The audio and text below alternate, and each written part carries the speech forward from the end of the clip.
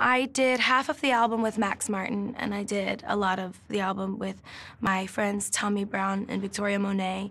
And um, it was really nice because I feel like the two producers that I worked with mainly on this album understand me so much as a human being that the fusion of the two sounds kind of just made for one perfect like dream sound for me. So working with Max is and always has been a dream. He's so talented and so chill and so humble, which is so refreshing because a man who's been as successful as he has in pop music for him to just be as cool as he is is so amazing. I love it. He's like a friend to me.